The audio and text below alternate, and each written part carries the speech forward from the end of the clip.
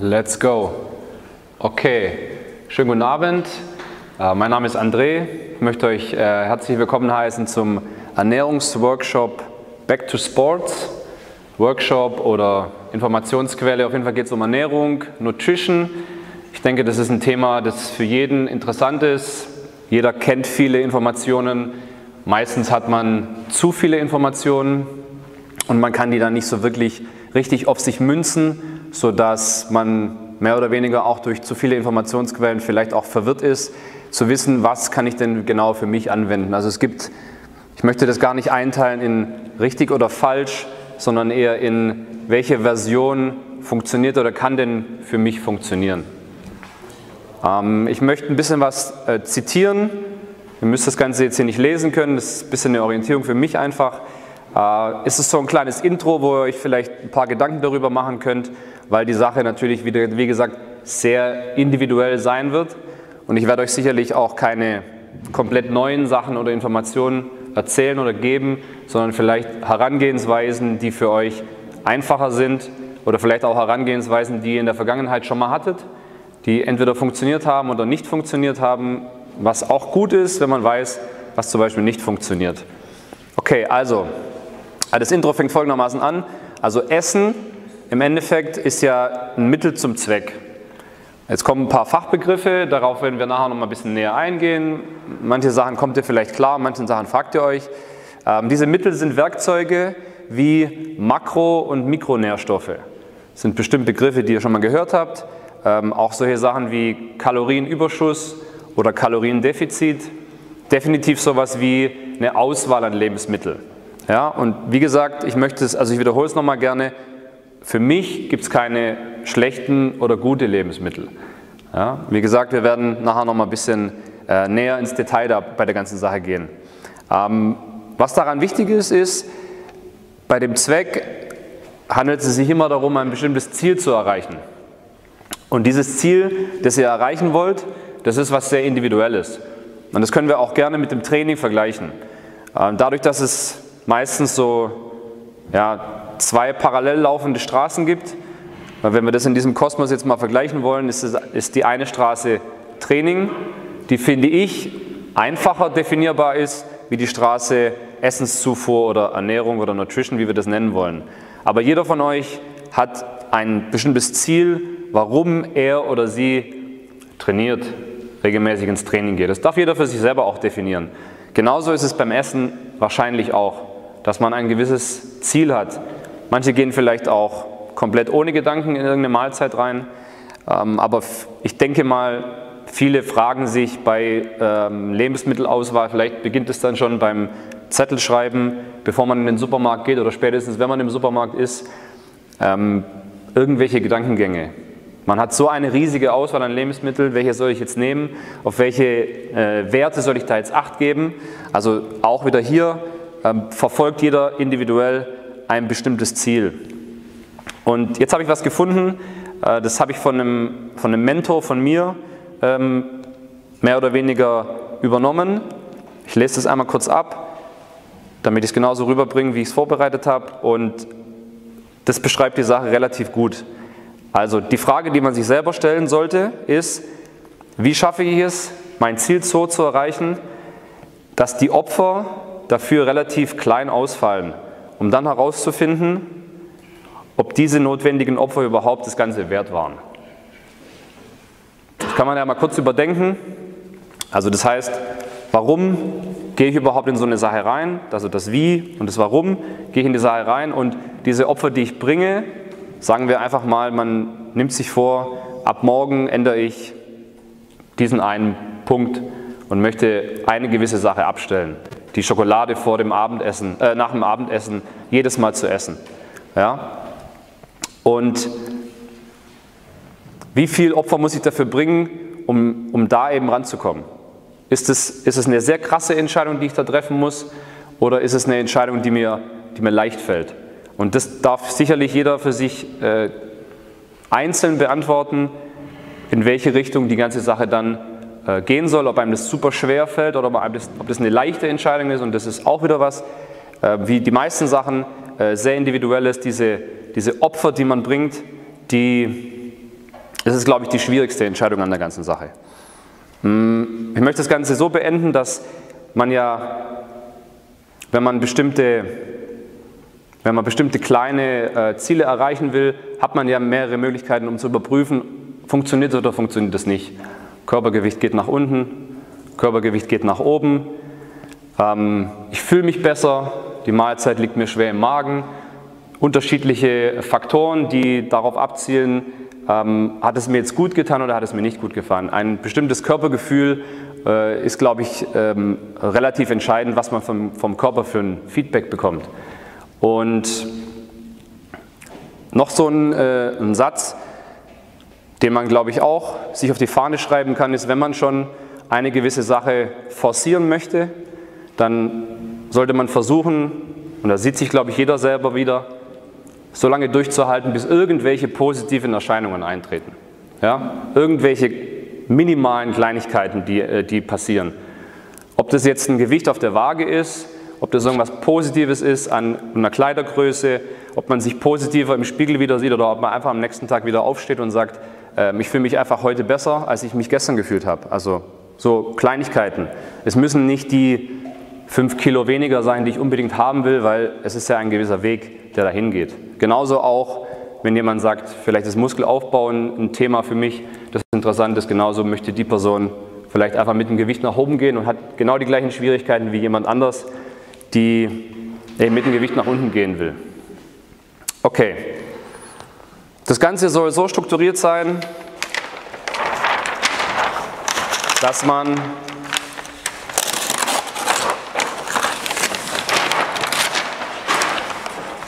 dass man nachher von mir sieben, sieben Punkte bekommt, die ich rausgesucht habe, die man mitnehmen kann. Nicht alle sieben werden für euch funktionieren, deswegen gehe ich jetzt erstmal auf eine individuelle Ausgangssituation aus. Also jeder von euch hat eine gewisse Genetik, die könnt ihr nicht ändern. Das ist die Körpergröße, es ist nämlich äh, schnell ab, nämlich schnell zu.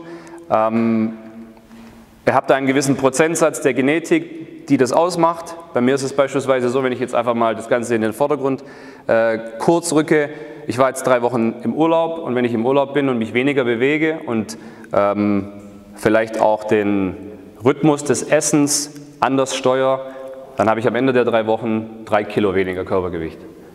Bei anderen die haben am Ende des Urlaubs 5 Kilo Übergewicht. Ja? Könnt ihr nicht ändern. Es ist einfach eine gewisse Sache, die sich bei euch einstellt. Das ist das Thema Genetik. Damit müssen wir klarkommen. Punkt Nummer zwei ist die Kindheit. Wie bin ich aufgewachsen? Was gab es früher für Lebensmittel? Was haben meine Eltern mir eingekauft? Was bin ich gewohnt? Gab es äh, süßen Sprudel? Gab es Süßigkeiten? Sind wir irgendwie zum Fastfood-Restaurant gegangen oder was auch immer? Ich denke mal, diese beiden Punkte sind die, die in den ersten Jahren des Lebens einen sehr stark prägen. Äh, kann, glaube ich, jeder äh, bestätigen. Dann die Frage, was bin ich für ein Stoffwechseltyp? Bin ich jemand, der was verändert ähm, bei der Ernährung? Da findet schnell eine Veränderung statt oder dauert diese Veränderung lange? Ja? Ich habe auf diesen Punkt hier, der dritte Punkt, auf die ersten beiden Punkte habe ich wenig Einfluss. Auf den dritten Punkt habe ich auf jeden Fall mehr Einfluss. Dann habe ich sowas wie einen Biorhythmus, den man sich meistens auch antrainiert, aber der ist wahrscheinlich auch irgendwo in der Genetik behaftet. Äh, bin ich jemand, die, äh, der morgens extrem fit ist und früh aus dem Bett kommt und mir Zeit nehmen kann, beispielsweise um ein Frühstück vorzubereiten, oder habe ich Schwierigkeiten damit? Ja, ich hatte es vorher ganz kurz ähm, eher scherzhaft erwähnt, aber solche Aussagen wie nach 18 Uhr darf man keine Kohlenhydrate mehr essen, ist ja eine viel zu pauschale Aussage. Hat sicherlich jeder schon gehört, aber was heißt 18 Uhr? Wer weiß denn, wie viele Stunden mein Tag jetzt bis 18 Uhr schon hatte? Vielleicht bin ich ja auch ein nachtaktiver Mensch. Also deswegen auch wieder was Individuelles, Biorhythmus. Und genauso auch das, der Thema, das Thema Alltag und Tagesablauf. Ja, ich habe eine bestimmte Zeit, wo ich arbeite, ich habe eine bestimmte Zeit, wo ich Freizeit habe und ich habe eine bestimmte Möglichkeit, mein Essen irgendwie zu timen. Ja, und daran muss ich mich orientieren. Da bringt es mir nichts, wenn es irgendwelche äh, super tollen, erfolgreichen äh, Programme gibt für äh, Gewichtsabnahme, wenn das nicht in meinen Tagesablauf einpasst, wie beispielsweise äh, intermittierendes Fasten oder sowas. Ja, das kann funktionieren, aber wenn ich jemand bin, der äh, morgens aufsteht und immer schon gefrühstückt hat, weil das in meiner Kindheit eben so verankert war, dann wird mir das schwerfallen, zum Beispiel bis 12 oder 13 Uhr nichts zu essen. Ja? Und jemand, jemand anderen, der sagt, super, ich habe früher sowieso eh nie gefrühstückt, das war bei mir und uns nie ein Thema, dann wird es der Person leichter fallen. Ja? Also das sind auch Punkte, die man beachten soll.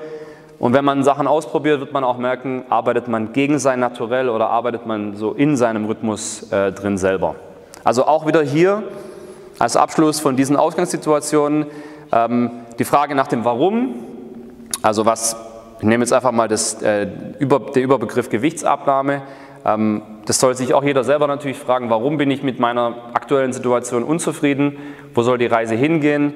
Äh, ich glaube, wenn man sich das beantworten kann, äh, ich möchte fünf Kilo abnehmen, weil ich dann denke, dass ich mich selbstbewusster fühle beispielsweise. Oder weil ich dann denke, dass ich ähm, mit, den, mit der anderen Kleidung, die ich mir kaufen kann, dass ich dann einfach einen positiven Effekt habe auf was auch immer. Ja, also das ist so ein bisschen der Hintergrund, der Hintergedanke, warum will ich das? Wenn ich jemanden gegenüber von mir sitzen habe und die Person sagt, ich möchte ein Gewicht haben von äh, 59 Kilo, dann will ich aber wissen, warum, wieso diese Zahl. Wieso 59 Kilo? Warum muss es? Und das ist nicht einfach zu beantworten. Ja? Da muss man sich auch vielleicht mal hinsetzen und sich selber mal fragen, warum will ich dahin? Vielleicht habe ich ja einen positiven Gedanke, dass ich mit dem Gewicht vor fünf Jahren, als ich 59 Kilo habe, mich sehr gut und positiv daran erinnern kann, dass ich mich dabei besser gefühlt habe.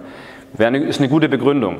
Aber nur weil jetzt irgendein System vorschreibt, dass ein Gewicht ähm, passend zu dieser Körpergröße dann positiv auf meine Gesundheit vielleicht sein könnte, ist vielleicht ein bisschen zu äh, schwammig, die ganze Sache. Okay, ähm, dadurch, dass man heutzutage sehr moderne Hilfsmittel hat, ich habe einfach mal ein paar äh, Hilfsmittel äh, aufgeschrieben, die man nutzen kann. Und viele von euch werden diese Sachen haben oder man hat den Zugang dazu, äh, die man auf jeden Fall einsetzen sollte, sind sowas wie Smartwatches, die Schritte zählen, die, die mir sagen, ähm, wie aktiv war ich heute, die mich motivieren können, ähm, da gibt es alle möglichen äh, spezifischen Sachen. Man kann sich ohne Ende damit beschäftigen. Wie intensiv man sich damit auseinandersetzen möchte, ist einem selber überlassen. Äh, Herzfrequenzmonitore, damit man beim Training weiß, wie intensiv ist der Sport, den ich mache. Passt es zu meiner Ernährungsweise? Ähm, klar, man kann noch spezifischer in die Sache reingehen. Man kann sich auf eine Körperfettwaage draufstellen. Dann hat man noch ein bisschen mehr Hintergrundwissen als nur das Körpergewicht. Und natürlich kann man auch von manche mögen das vielleicht extrem finden. Man kann natürlich auch sein Essen abwiegen. Und irgendwann mal lernt man, dass man weiß, ähm, wie viel sind 200 Gramm Reis, wie viel ist 100 Gramm Putenschnitzel. Am Anfang muss man es vielleicht wiegen, um ein Gefühl dafür zu bekommen, aber das sind auf jeden Fall, glaube ich, Erkenntnisse, die man braucht. Und alle möglichen Apps natürlich, die einen beispielsweise daran erinnern, äh, du hast seit zwei Stunden nichts mehr getrunken, trink einfach was. Ja, also wenn man nicht die Möglichkeit hat, an alles Mögliche zu denken, helfen einem solche Kleinigkeiten, besser auf den Weg zu kommen. Ja, man muss es nicht übertreiben, aber man kann sich zur Hilfe nehmen. Okay, kommen wir jetzt mal zu den Tipps.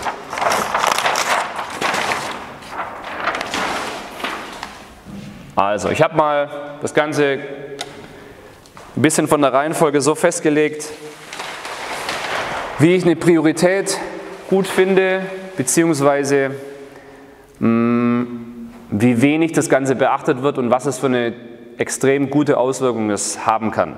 Also Punkt Nummer eins bei mir ist, sind Schritte sammeln. Äh, jeder von euch kennt so dieses, man soll 8.000 bis 10.000 Schritte am Tag machen. Es ist auch eine sehr gute Kennzahl.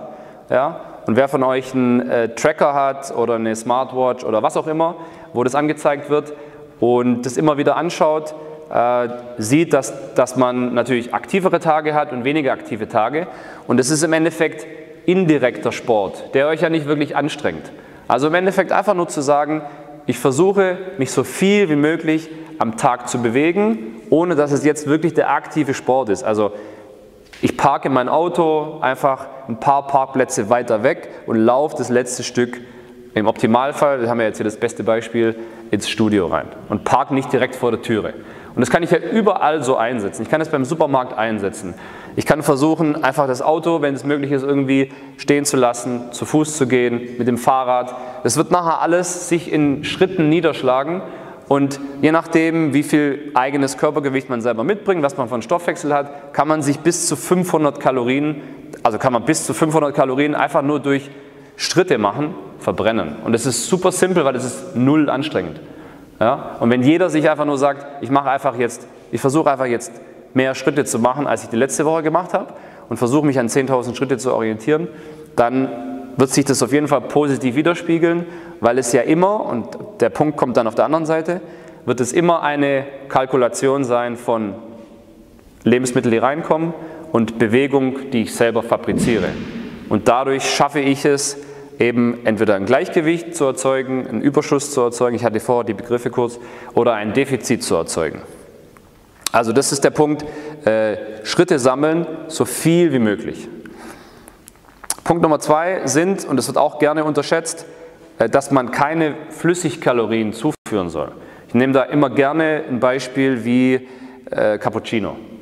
Ja, Cappuccino, Kaffee, Milch rein, Flüssigkalorien. Kaffee selber, keine Kalorien. Cappuccino, Latte Macchiato, sehr viele Kalorien. Die kann ich aber irgendwie anders managen. Natürlich bringt euch das nichts, wenn ich sage, anstatt dem Cappuccino trinkst du jetzt schwarzen Kaffee, weil das will natürlich niemand, ja, weil da geht es ja auch um Geschmack, aber ich kann diese Kalorien, die jetzt in dem Fall aus dem Lebensmittel Milch kommen, beziehungsweise kommt dann vielleicht noch Zucker oder sowas rein, kann ich versuchen zu überdenken, irgendwie anders zu managen. Es gibt Ersatz, äh, Ersatzmilchprodukte, die ähnlich schmecken, aber viel weniger Kalorien haben, beispielsweise Mandelmilch. Ob das dann nachher vom Geschmack her genauso für euch ist wie der Cappuccino, den ihr sonst trinkt, müsst ihr selber rausfinden, aber es lohnt sich definitiv, das Ganze zu überdenken. Genauso auch alle anderen äh, Flüssigkeiten, die ihr den Tag über zuführt, die nicht Wasser sind, beziehungsweise was kein Zero-Getränk ist. Ja? Also da könnte man jetzt nochmal einen eigenen Vortrag darüber machen, sind Zero-Getränke gesundheitsschädigend oder sind sie gut? Definitiv haben sie keine Kalorien.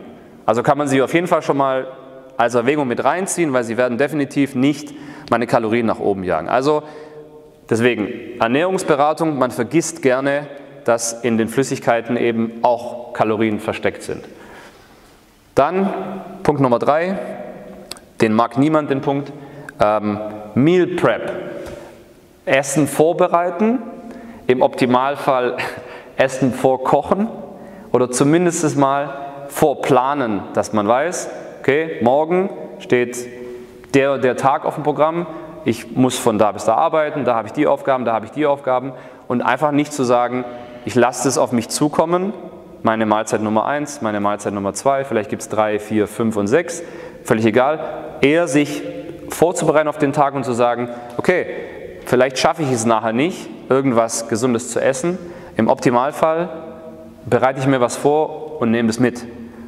Oder Schrägstrich, ich nenne es jetzt mal Healthy Fast Food, also Essen, das relativ schnell geht, aber das eben auch von der Kaloriendichte her so positiv ist, dass ich es irgendwo mir besorgen kann, ohne dass ich jetzt was selber vorbereitet habe. Ja?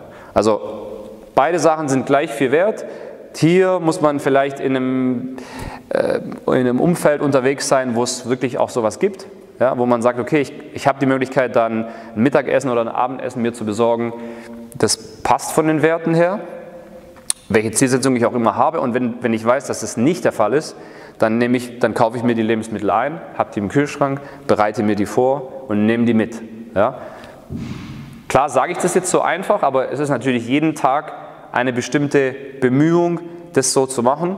Es wird sich aber natürlich hinten raus auf jeden Fall lohnen, äh, lieber einmal mehr vorbereitet zu sein und vielleicht ein, äh, eine Banane, einen Apfel, einen Riegel, einen Joghurt oder was auch immer im Auto drin zu haben, im Handschuhfach drin zu haben, in der Tasche drin zu haben, wie wenn ich das einfach nicht habe und dann sage, schauen wir mal, was es da gibt, wo ich da bin. Ja, also das ist meistens äh, schwierig. So, dann habe ich Punkt Nummer vier, äh, Proteinzufuhr erhöhen. Ich bin mir ziemlich sicher, dass die meisten gar nicht wissen, wie viel Protein sie zuführen beziehungsweise schon zweimal nicht wissen, wie viel denn gut ist. was man denn zuführen sollte. Deswegen lohnt es sich definitiv darüber zu sprechen. Äh, A, ist Protein gut? Antwort ja. Wie viel Protein soll ich zuführen? Hängt davon ab, wie viel ich mich bewege, was ich für ein Trainingsziel habe, aber definitiv äh, haben die meisten einen viel zu niedrigen eine viel zu niedrige Proteinzufuhr, die natürlich immer wieder extern passieren muss. Also ich muss das immer von außen zuführen. Der Körper kann es nicht selber produzieren und deswegen muss ich mich darum kümmern. Und wenn ich dann nachher zu dem Thema ähm, Essen, Tracken komme, auch so ein Thema, das manche gerne machen, aber die meisten eher mh, hm, ihre Mühe damit haben, lohnt es sich definitiv vielleicht einfach mal nur zu schauen, wie viel Protein nehme ich denn tagtäglich zu was habe ich für einen Wochendurchschnitt und was habe ich für Möglichkeiten, das zu erhöhen. Einfach nur durch normale Lebensmittel. Ja, also das wird auf jeden Fall auch funktionieren, weil es ist selten ausreichend. Äh, Punkt Nummer 5 ist an sich für mich relativ äh, selbstverständlich, aber für viele eben nicht, hm, dass man seine Lebensmittel einfach kennt, dass man weiß, wo ist was drin, was ist eine Proteinquelle, was ist eine Kohlenhydratquelle, was ist eine Fettquelle und auf der Nährstofftabelle hinten steht ziemlich viel drauf. Ähm, es steht auch ziemlich viel drauf, wo wir keine Ahnung haben, was es ist, aber wir können es auf jeden Fall mal in drei Kategorien einteilen, wenn wir einen Teller vor uns haben, dass wir sagen, okay, das ist vielleicht hier eine dominante Kohlenhydratquelle, das ist eine Proteinquelle und das ist eine Fettquelle. Dass ich einfach das auf dem Teller schon mir selber vor Augen führe und sage, okay, das ist das, das ist das, das ist das, es ist alles vorhanden und es funktioniert in jeder äh, Variation auch. Aber einfach um mir zu sagen, okay, ich habe ich hab da jetzt nichts vergessen, es ist das vorhanden, was ich haben will und äh, vielleicht sollte man, um Abschluss von diesen Proteinzufuhr erhöhen, sollte man ähm, das Protein, äh, den Spruch habe ich gut gefunden, zum Star seines, seiner Mahlzeit machen. Also dass die, dass die Proteinquelle einfach nicht von der Menge unbedingt, sondern einfach optisch für euch immer klar sichtbar ist, dass ihr sagt, okay, hier bin ich safe, das ist die Proteinquelle und das in jeder meiner Mahlzeiten. Ob das ein Frühstück ist, ob das eine Zwischenmahlzeit ist, ob das, eine, ob das ein Abendessen ist, ob ich, wenn ich wo essen gehe, suche ich mir vielleicht meine Mahlzeit auch in der Karte so raus, dass ich weiß, okay, da ist die dominante Proteinquelle. Ja? Fleisch, Fisch, Eier, Milchprodukte, äh, vegane Produkte, vegetarische Produkte, was auch immer. Okay. Fünf haben wir durch. Dann machen wir noch mal zwei.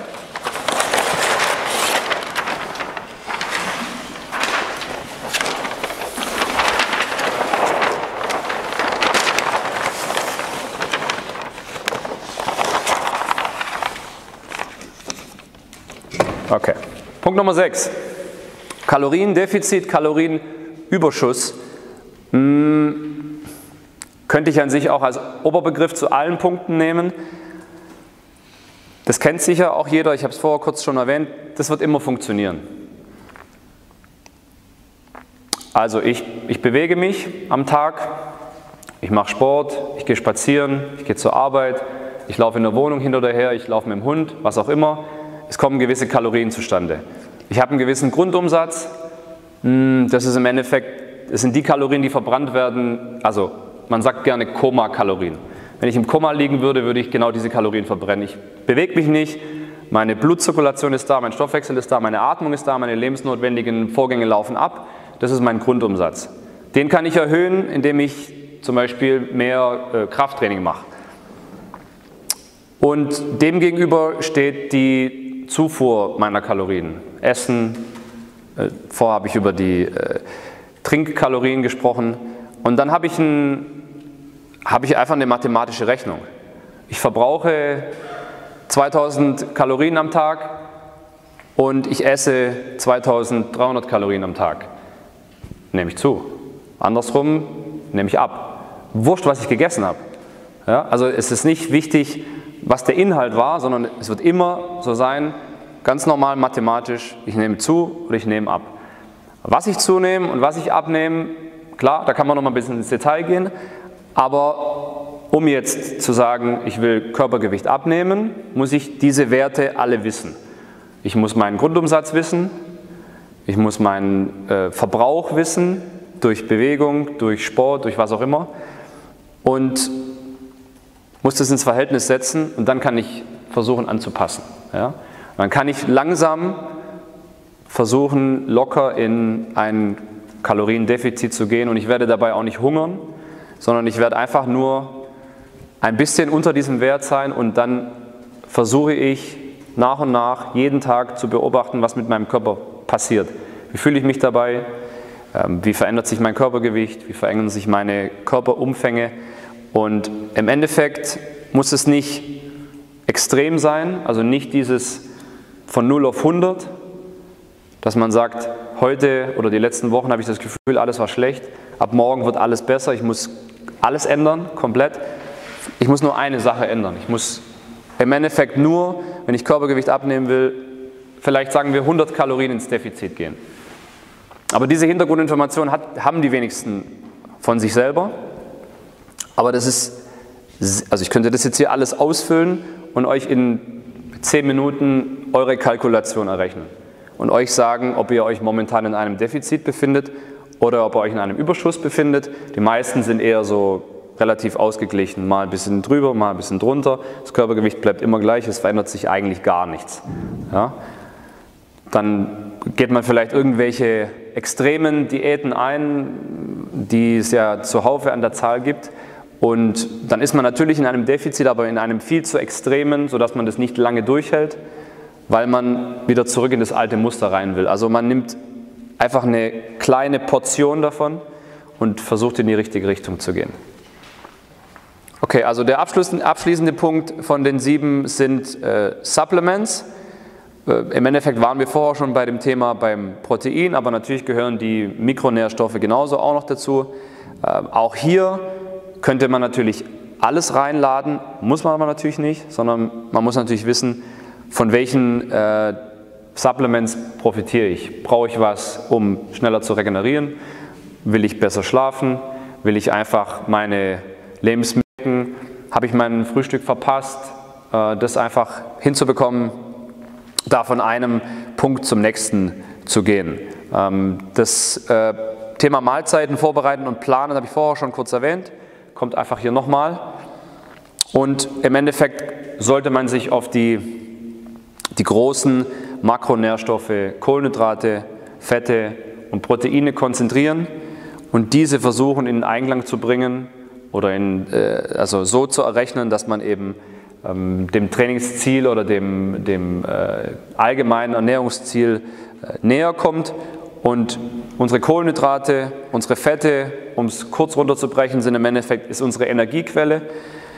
Wir werden wahrscheinlich eine von beiden äh, Quellen besser vertragen. Wahrscheinlich sind wir ein Stoffwechseltyp. Viele unter uns, die besser Kohlenhydrate vertragen, viele vertragen die Fette besser. Selten ist es beides. Und die Proteine kommen sowieso immer on top. Und so fülle ich meine äh, Kalorien einfach über den Tag auf und versuche so gut wie möglich an diese Werte ranzukommen. Dann kommt das temporäre Tracken, einfach zu sehen, okay, bin ich in diesem Muster drin, schaffe ich es da ranzukommen? Oder bin ich 500 Kalorien entfernt davon? Na, dann versuche ich mich langsam hochzuarbeiten. Und bin dann vielleicht noch 400 entfernt, bin noch 300 entfernt. Und es ist ein, ein Prozess, der von einer Woche und von einem Monat zum nächsten ähm, immer weitergeht und hoffentlich in die richtige Richtung funktioniert, um das Ganze eben, wie gesagt, positiv zu gestalten. Äh, Ziele definieren habe ich nochmal erwähnt.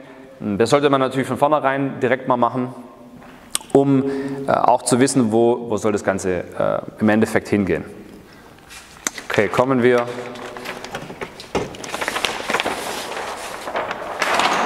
Hier zum letzten Punkt. Es wird jetzt bei dem Online-Vortrag hier schwierig sein, hm, Fragen zu stellen. Deswegen habe ich mir einfach hier mal ein paar Punkte aufgeschrieben, die wahrscheinlich als Fragen äh, kommen werden.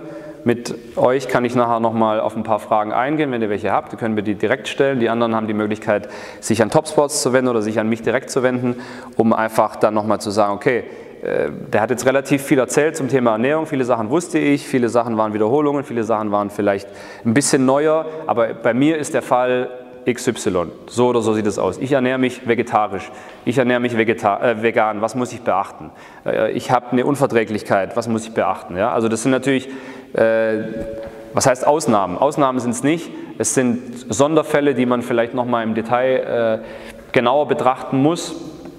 Ähm, äh, viele haben Ausgangssituationen, was die Hormone, was äh, die Organe angeht, müssen regelmäßig Medikamente zuführen. Das sind alles Einflussfaktoren auf die Ernährung, die die Sache definitiv schwieriger machen. Auch jemand, der sich vegan ernährt, kann das alles positiv abdecken, muss sich aber einfach noch besser auskennen, weil einfach verschiedene Nährstoffe in tierischen Lebensmitteln häufiger vorkommen und einfacher zuzuführen sind. Wenn sich aber jemand dafür entschieden hat, diesen Weg zu gehen, aus welchem Grund auch immer, dann muss die Person sich einfach nur, was heißt nur, besser auskennen. Ja? Wissen, welche Supplements gehören da nochmal dazu und kann genauso äh, auch erfolgreich abnehmen, kann auch erfolgreich zunehmen. Aber ohne diese Basisinformationen funktioniert. Ich würde, ich würde mich einfach mal so weit aus dem Fenster lehnen, dass ich sage, wenn jemand sich äh, sportlich betätigt, vegan unterwegs ist oder vegetarisch unterwegs ist, wird es ohne Supplements gar nicht funktionieren. Also unwahrscheinlich. Hm, Verdauungsproblematik auch. Ist natürlich dann, kann auch ein sehr medizinisches Thema dann nachher sein. Ähm, ich würde das alles, wenn es in irgendeine Richtung davon geht, es erstmal medizinisch abklären lassen, ähm, um dann zu sagen, okay, das ist meine Ausgangssituation, damit muss ich klarkommen und man versucht das Ganze dann so anzupassen, dass es trotzdem umsetzbar ist, vielleicht nicht wie bei jemandem, der dieses Thema nicht hat. Ähm, dennoch gibt es immer Lösungen und es gibt immer Wege, die dann äh, trotzdem auch funktionieren und es kann trotzdem dann in eine äh, sehr positive Richtung gehen. Okay, dann schaue ich mal, ob es noch einen Punkt gibt. Jetzt kommen vielleicht ein paar Fragen. Vielleicht kommen jetzt hier aus der Runde ein paar Fragen, die auch für die anderen Zuschauer interessant sind. Habt ihr was?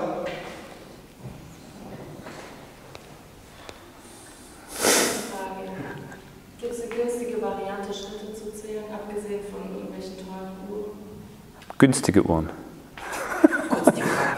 Aha, okay. Ähm, die Frage war, gibt es günstige Variante, Schritte zu zählen, ohne teure oben zu haben? Also, ich kann dir nicht ganz genau sagen, wie genau günstige Schrittzähler sind, also genau im Sinne von, äh, dass die das genau messen, aber mit deinem Handy wird es funktionieren. Okay, aber das müsste ich ja dann immer bei mir tragen. Aber die Wahrscheinlichkeit, dass du das Handy immer bei dir hast, ist sehr hoch. Also die günstigste Variante ist, das Handy immer bei sich zu haben. Das ist sehr wahrscheinlich. Und die, also soweit ich Kenntnis davon habe, ist auf jedem Handy so eine Aktivitäts-App installiert, wie auch immer die heißt, kommt auf das Device drauf an.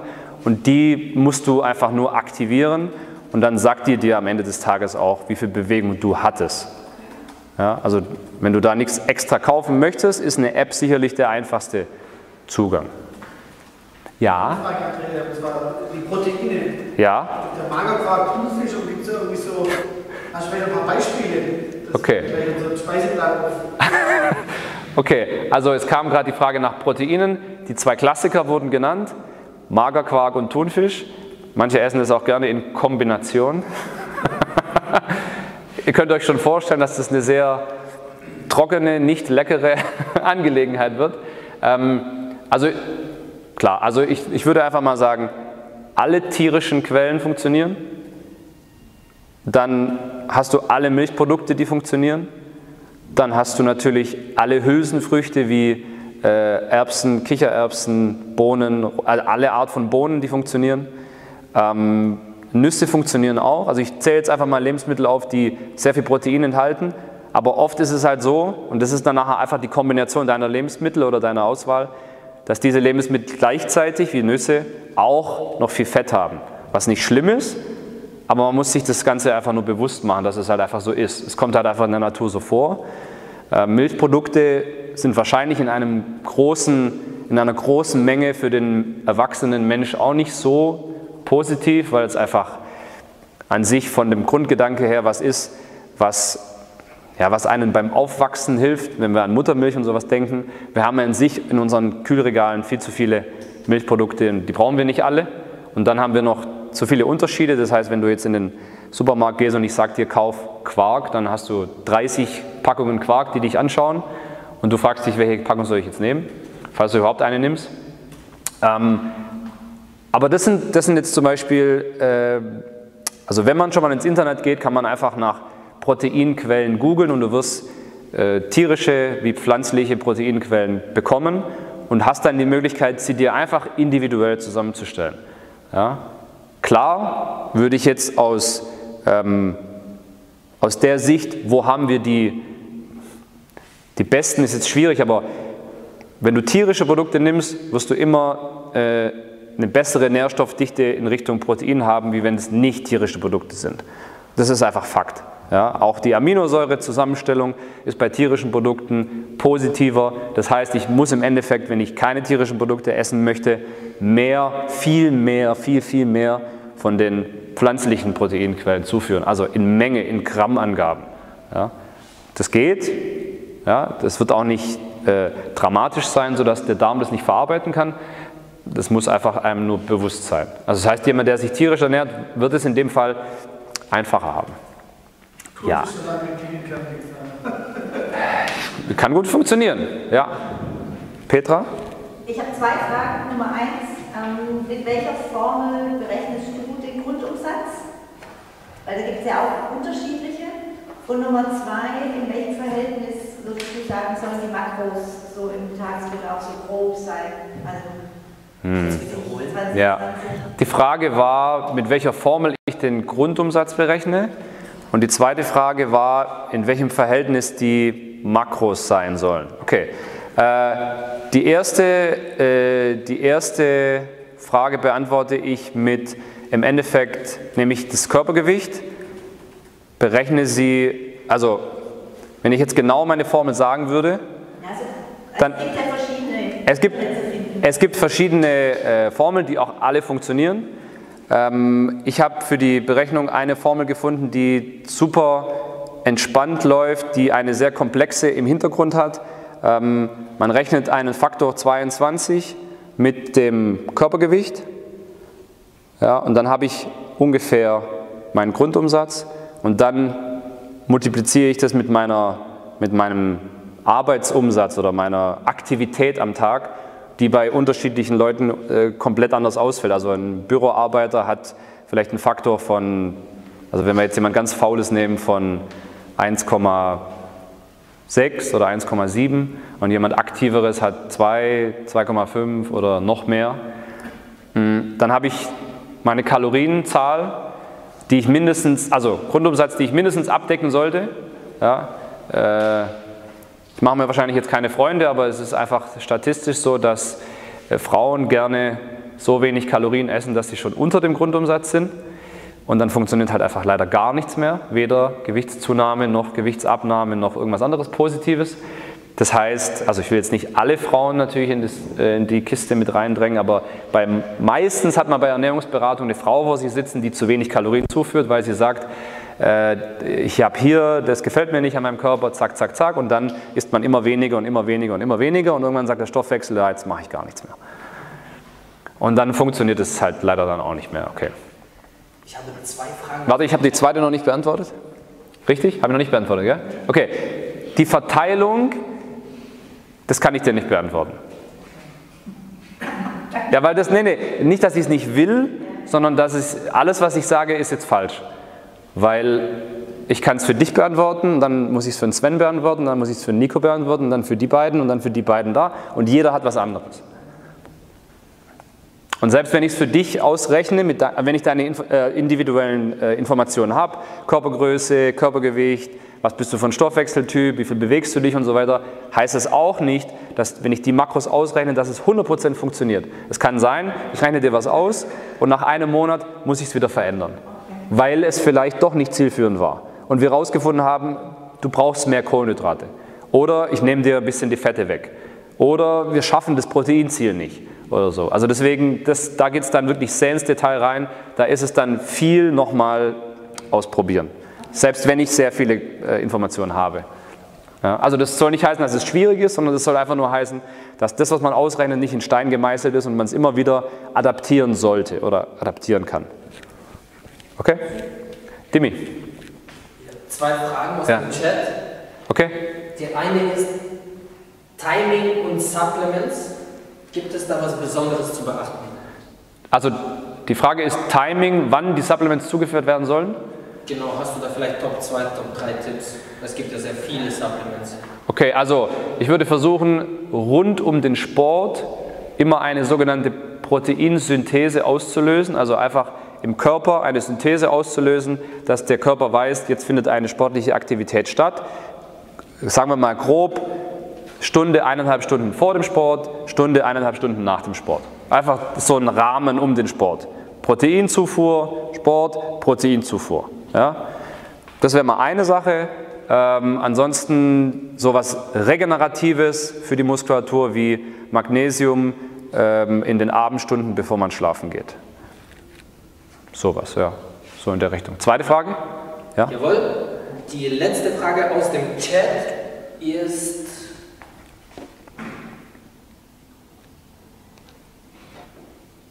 Wenn man abends Heißhunger hat und alle Stricke reißen, was kann man da vielleicht tun, wenn man richtig Hunger hat? Okay, die Frage ist, ich mag die Frage, äh, wenn, die Frage, die aus dem Chat kommt, ist, wenn man Heißhunger, ab, war das abends oder generell, oder? Wenn man Heißhunger hat, was soll man dann machen? Ja? Vor- vor- Oder nachts am Kühlschrank. Auch wieder eine Proteinquelle nehmen, weil die super sättigend ist. Welche? Egal. Wenn du Bock hast, eine Thunfischdose zu essen, mach es. Muss nicht sein, aber mach es. Also Protein wird immer sättigend sein und ähm, wird, also man kann es kaum übertreiben mit dem Protein, deswegen wird es immer positiv funktionieren. Ja? Aber eigentlich ist der Hintergrund der Frage, warum ist dieser Heißhunger da? Wahrscheinlich habe ich den Tag über zu wenig gegessen oder beziehungsweise zu wenig Nährstoffe zugeführt und dann kommt dieser Heißhunger. Ja?